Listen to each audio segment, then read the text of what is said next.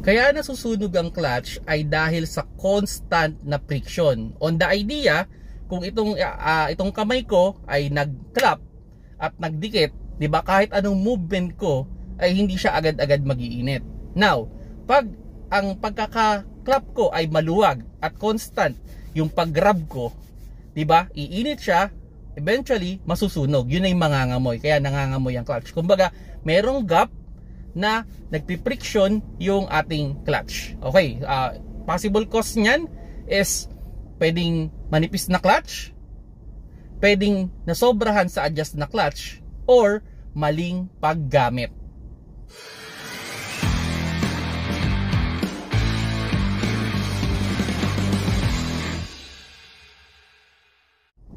Hello mga paps, I'm Kuya Shane at may na-receive lang akong question bakit daw ba nasusunog ang isang clutch sa manual transmission. So yun nga, most of the time kaya nasusunog yan ay dahil sa maling paggamit.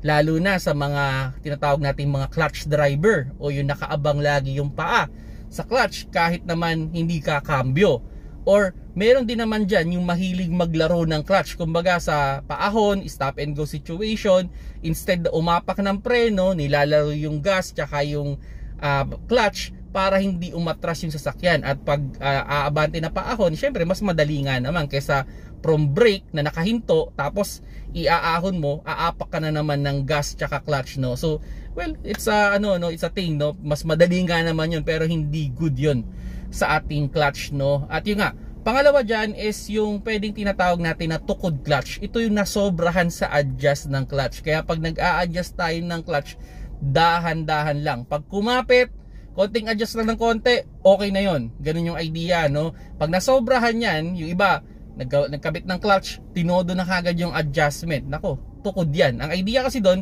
kahit hindi ka nakaapak sa clutch pedal, eh, para naka-half clutch ka. Kumbaga, hindi nagdidikit ng solid yung ating clutch, no? So, ang effect, nagkakaroon siya ng friction, kaya nag-iinit. At yung huli, ay yung pag tinatawag natin slide clutch. Ito na yung pasira na talaga yung clutch. Normally, ang clutch naman will last more than 100,000 kilometers.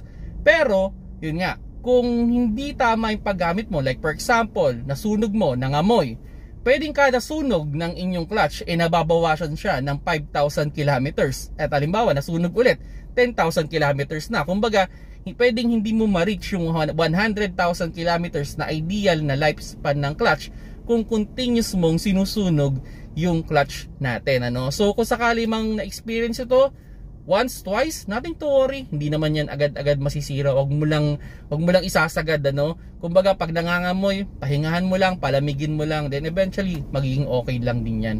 So, yun mga paps, no, sana nakakuha kayo ng konting idea with regards clutch, no. Uh, with regards clutch, uh, sabi ko nga, ayusin nyo lang yung paggamit, i ano nyo lang i-adjust nyo lang ng tama and for sure naman na magtatagal ang, ang clutch natin sa manual transmission. Salamat sa panonood. Keep safe mga paps.